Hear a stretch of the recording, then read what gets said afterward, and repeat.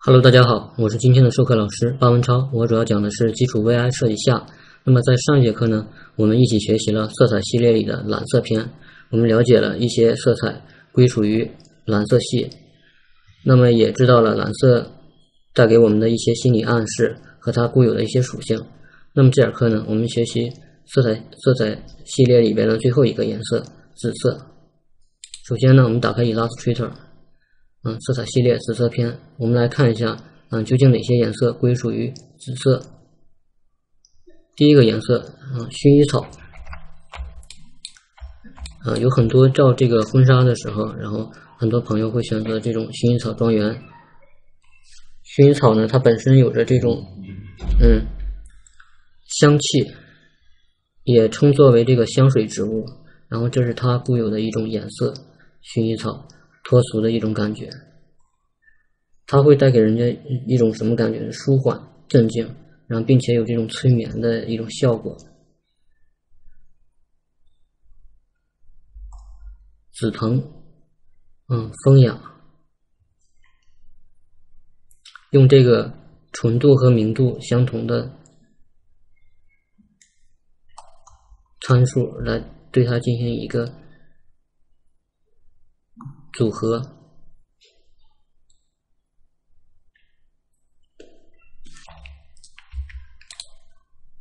我们可以来看一下，四十九、六十一、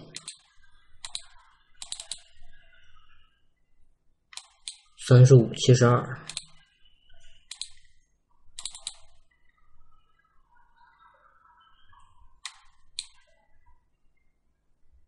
在明度的。这个参数里，它的数值是很接近的，这三个颜色的数值是很接近的，是这样。丁香，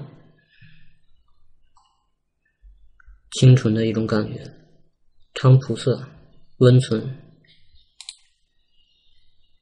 因为紫色，我们在之前也有讲过，它也属于一个中性色，和它搭配的颜色。越偏向于暖色呢，然后它的整体的感觉也是很温暖的感觉。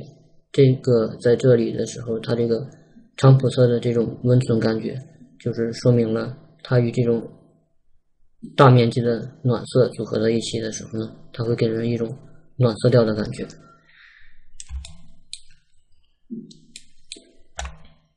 这个是由这个蓝色。和红色合成的一个颜色，紫色，紫色的一个本色。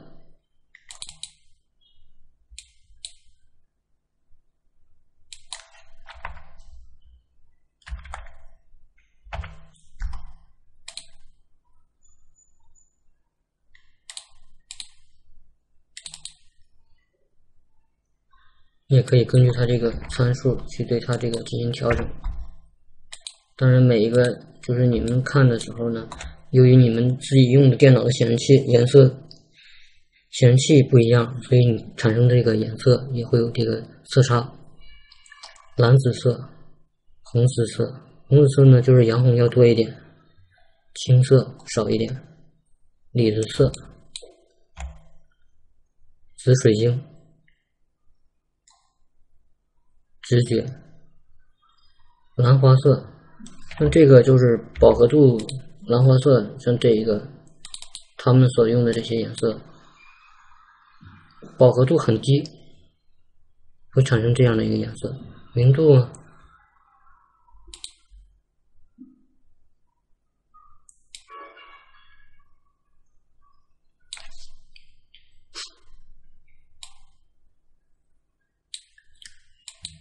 明度还是很高，但是饱和度。降低了，欧薄荷、淡薄、灰紫色、诡秘、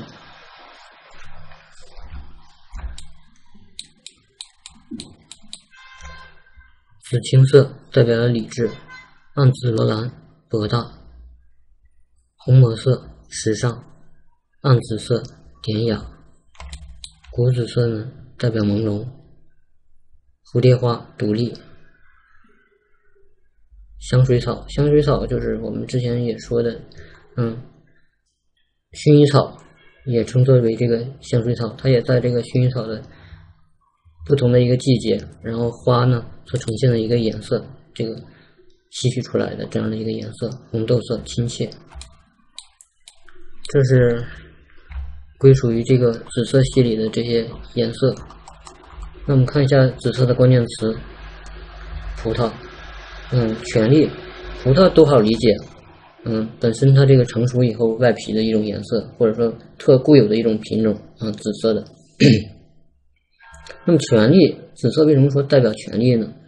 那么在这个古罗马的时候，然后就是西方文化，古罗马的时候呢，通常用这个紫色的颜料，然后染成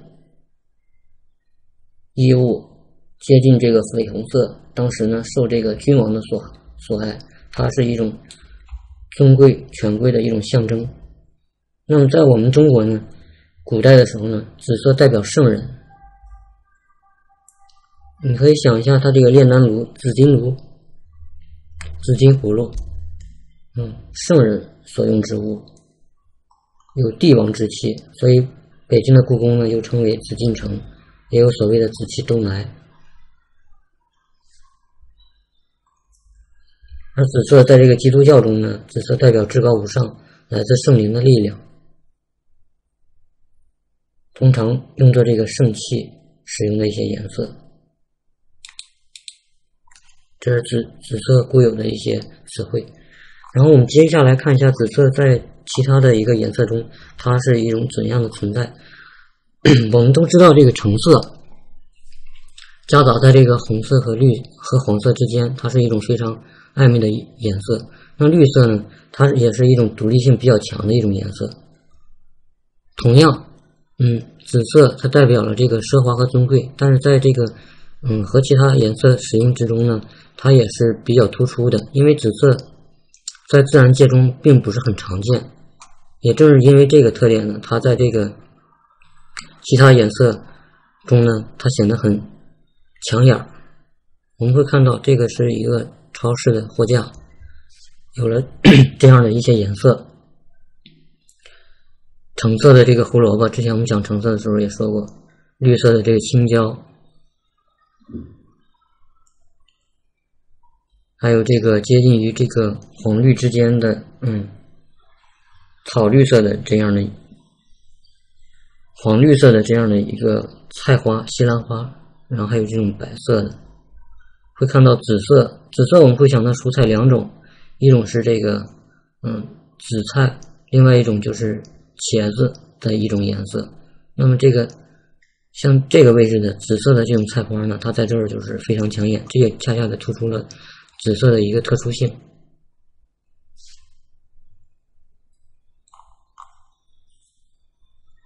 它不容易与其他颜色配色，因为它太突出了。所以它既不像黄色，也不像橙色，你放在一起，很容易这两种颜色就融合在一起了。嗯，因为它们对比不是十分强烈，但是紫色呢，它对比是非常强烈的。它虽然是由这个蓝色和红色，嗯，相加产生的，但是，嗯，它并不容易与这种两种颜色，嗯，进行一个色彩上的协调。像下面这个颜色，所以紫色是非常抢眼的一个颜色。然后运用起来呢，也也是比较极端。你像是深紫色呢，嗯，它代表着这个幽冥和危险。这个是世界上最毒的一种蛇，叫做嗯这个紫蓝紫蓝蛇。有兴趣同学可以查阅一下，它上面这个颜色就是很。深暗的、很阴暗的一种紫色，有剧毒这种蛇，所以它也象征着紫色呢。深紫色也象征着危险。然后像我们之前所说的，象征着权贵，就是这一种颜色。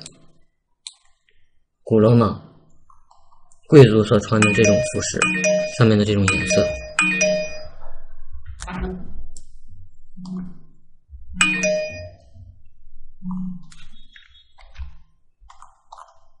然后我们接着往下看，那紫色呢？同时它也带有这种时尚、时尚感。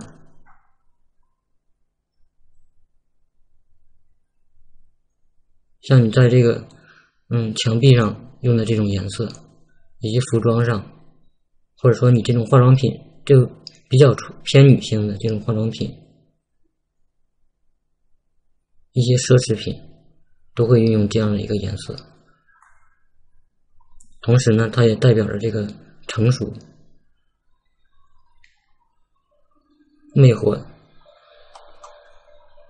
一种感觉。然后你可以在这个图片的时候，你分析不出来的时候，你可以去吸取。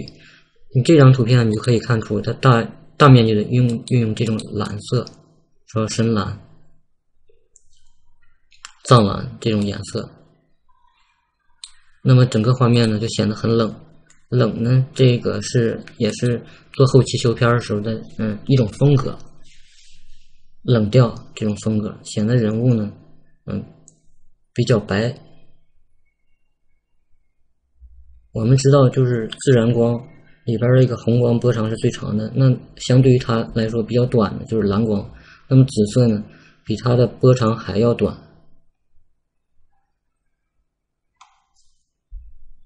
所以说紫色呢就是很抢眼，是我们可以能肉眼可以看得到的。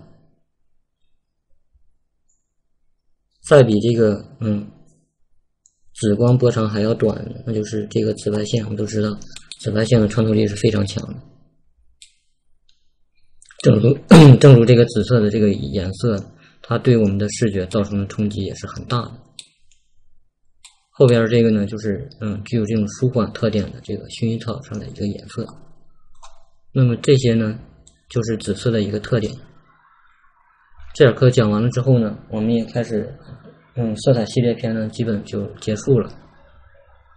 我们下节课呢就开始进入这个实战，嗯，拟定一个课题，然后对这个课题呢进行一个实战设计。先从这个标准字开始，然后到后期我们会讲这个标准字的配色以及这个设计的整个一个核心的概念。